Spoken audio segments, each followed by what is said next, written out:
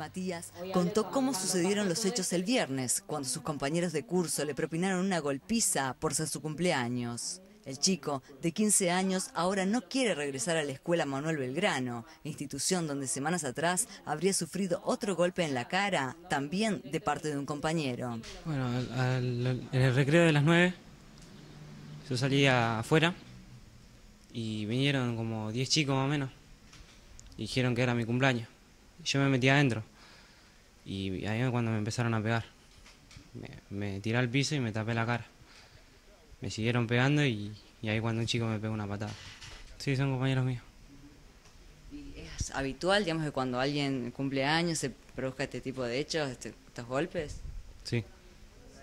Vanina, la madre de Matías, pide explicaciones a las autoridades de la escuela o al Ministerio de Educación, ya que asegura que nadie aún se ha comunicado, ni para saber el estado de salud del chico, ni tampoco para resolver cómo terminará el año Matías. Me molestó que no llamaran en ningún momento el mismo día viernes y ni en el transcurso del día. Yo creo que está mal que sea tan habitual, que, alguna medida no, es nada en contra negativo de todos los chicos, sino que se hable o, que se hagan reuniones, porque si nosotros no salimos a los medios a hablar, eh, quizás los padres ni se enteraban de estos chicos de todos los compañeros y, le podría haber pasado a cualquiera. El psicólogo Félix Temporetti analizó la situación e indicó que se debe poner en debate el sistema educativo.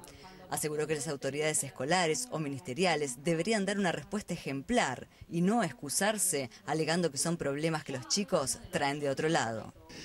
Eh, yo creo que echar la culpa a que son problemas personales o familiares, eso ya agotó la cuestión. Yo creo que acá hay algo más grave y es el fracaso, sobre todo del colegio secundario como modelo educativo.